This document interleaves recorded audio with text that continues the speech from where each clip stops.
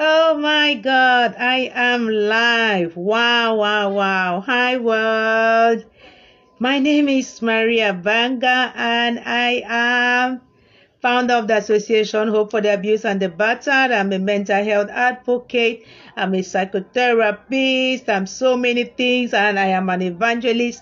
And so I just put all of it, and I just, you know, do what I have to do, whenever and all of that, all to the glory of God. So um, this afternoon, I want to do this quick video to uh, remind us and remind, you know, care providers and uh, medical personnel, right, to watch out for the mental health of their patients, whatever um, situation or condition brought someone to you, or whatever it is the person you're taking care of has as a physical um, condition think about their mental health too because uh, we cannot separate one from the other especially the mental health right?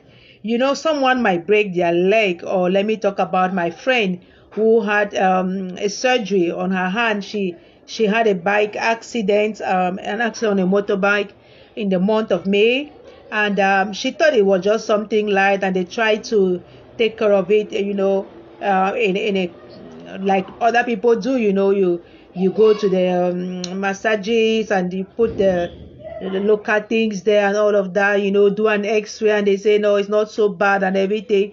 And then they, they, they wrapped it up and she was going like this. But after a while, there was no sign of improvement. And so um, she went for further consultations in different places. And they said not only surgery. And um, yeah, she had that surgery on the 4th of June. And so um, I wasn't around the whole month of June, and so when I came back, she's my bosom friend from. So she's really like my sister.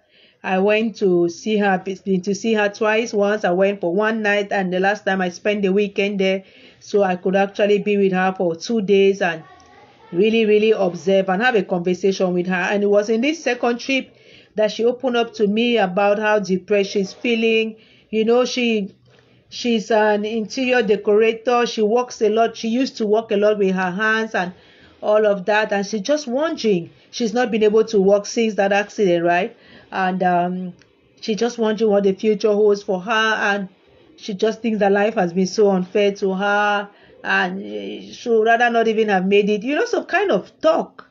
And I'm like, no, you are here. And they, they, they, they didn't amputate it. And you know, so we really had a lot a, a long conversation, and I just thought about um, a kidney kidney health awareness advocate who died a few days ago in the Cameroonian community abroad, and of course those of us who knew her back home had such a loss. And um, she and I actually connected online um, due to my fierce mental health advocacy back at the time. Um, and yes, so she she had a foundation and counseling and mental health. There was a time I even had to go and do some work for them, you know, volunteer and stuff. And then COVID hit and it was impossible and stuff like that. Yeah, and she used to tell me sometimes you just don't want to see people sometimes you just don't want to talk to people sometimes you cannot help but think why me sometimes you think life is unfair when you just want to start smiling and think that oh, it's all done and dusted, boom, something comes up and everything, you know, and um, and uh, well, it, it, it, it that's all mental health, right? Um, the sadness and all of those things. Um, I have a few other friends who also have some health conditions like um, hi hi Elvis, thanks for joining me who have some health conditions like um, you know other health conditions you know uh, and you, you might think that those are physical health conditions you know and yet mentally they have a lot of challenges too. Some talk about it some don't talk about it you know because there's this stigma you know if you just start saying ah i feel depressed what, are you talking about? You know oh i didn't i haven't slept for the past three days. Hey! Oh soon you start talking to yourself you know this kind of things and and sometimes you you suffer stigma from people too who will be like they'll run away from you or they'll not want to associate with you. For example, if you're a woman, you start saying, Who is going to marry me if they hear that I have not only that condition, but that once in a while I lose my mind or I feel so sad and depressed? You are already prone to some kind of things like maybe post or postpartum depression. So no, no, no, no, no. You know, so you don't talk about it because if you talk about it, that's already a big negative sign on your forehead. You know, invisible one. But once somebody asks you a question and you just answer in a certain kind of way, you are off. So you start being worried about if you're a man, you'll be like, ah, which girl is going to talk to me? Which girl will want to go out with me? For example, if I have sickle cell and then when we are sitting there, pap, I have a crisis. Are they not just going to run and leave me there and uh, stuff like that? So it starts to mess, it starts to play with your thought pattern, you know, and before you realize it, well, your behavior is actually either affirming what you think about yourself or you start, you know, just rejecting people and even people who really had every intention to, you know, just come close and just be your friend, not not out of pity, but you think, no, it's out of pity. That's why they're coming towards me. And all of that is reflective of a distress, mental health distress. So I just thought really about my friend and I was like, we have to we have to have these conversations more often. And sometimes people with lived experience are the best people to tell us what they feel you must not have been diagnosed with a mental um, ill health like me who was diagnosed with post-traumatic stress disorder. You must not have been diagnosed with bipolar disorder or schizophrenia to say that you know what mental health um, challenges are all about. No. Uh, back home in africa uh, people hardly get diagnosed. Diagnosed what? People uh, we take care of ourselves we manage it or we don't talk about it we struggle and then before you know it, well, mm, people have kicked the bucket, taken their lives, uh, you know, died by suicide, all of those things. So it's bizarre.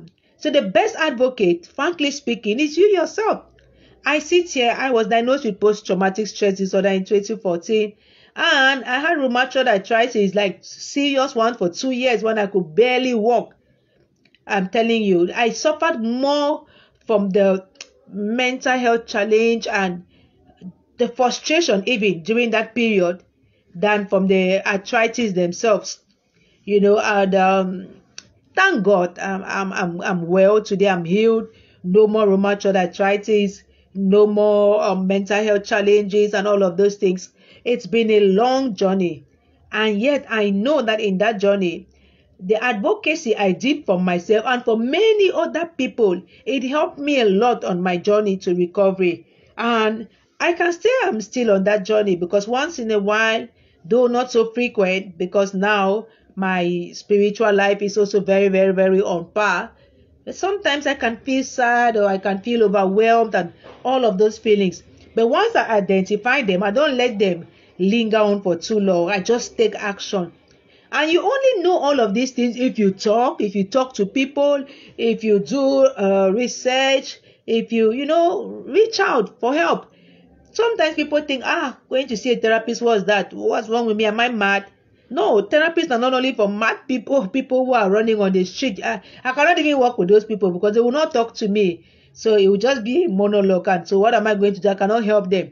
It is instead for people who are recognizing some signs of distress.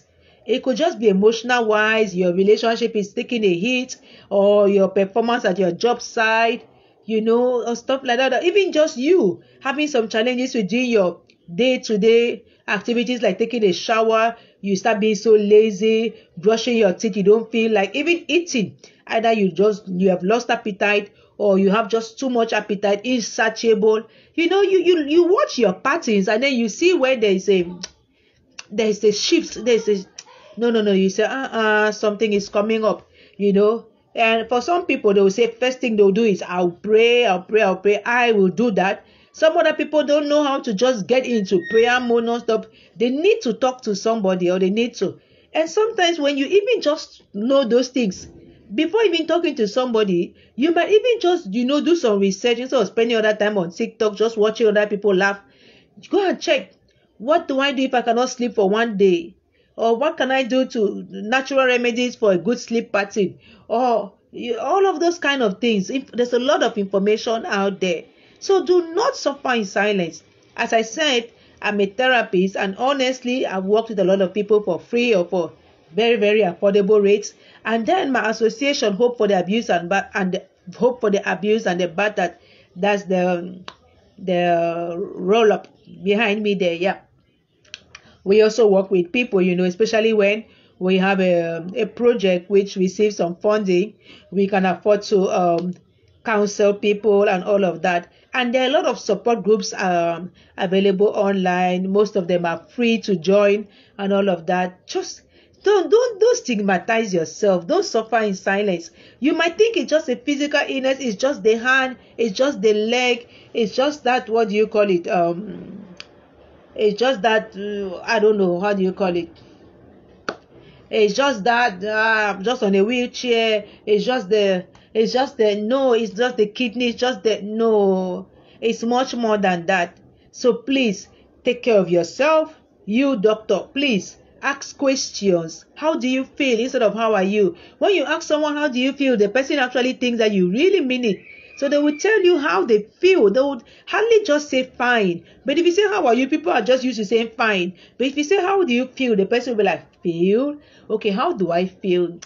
I don't feel so good. I feel so so. And then once they tell you that, you can ask questions. I remember asking a friend two days ago. I just wrote to her on WhatsApp. It's been such a while. And I said, How do you feel? And she told me that what she feels better today. And I was not able to ask her what happened the other days. And she was like, Oh, she lost her son uh, a month ago. He was assassinated. Can you imagine the devastation of that? But people might see you and think, oh no, it's okay, you're a strong woman, you overcome that. And you, you just be there, you know. Yet, imagine, you don't just overcome such a news like that. They assassinate your son, 30 years old. No, that can send somebody, you know. So she needs to be around people and, and people need to know that it's not just about coming and attending the funeral and bringing all of that food and making all of that parade and everything and then going. No, no, no. There's so much more. Someone needs to check on her often, maybe not even leave her to live alone for some time and all of those things. I have to just do this and, you know, just check on her again and those, those kind of things. So we, we need to learn those languages. How do you feel is better than how are you? Um, and then you, the people, if, if it's a family, you're living with someone, yes, they might have a visible physical condition, they might be disabled, you know, or they might be challenged, they might, and you think it's just that you just want to be pushing them around in a wheelchair. Just the fact that they're sitting in that chair already makes them feel helpless. And, and you can push and be using some kind of language, and then they just get hopeless and depressed and all of that. And they either shut down or they become violent. All of those things, and then you be like, ah, are you the only one who is disabled? No, we cannot be using those kind of languages. So I'm just doing this video to kind of encourage us to think about it every now and then, especially with people who have these physical health conditions. It doesn't just stop at that. So let's just show some more compassion, have some more empathy. Don't wait to see somebody walking on the street naked to say that ah that one has a mental illness. Even at that time will be worse. The stigma is terrible.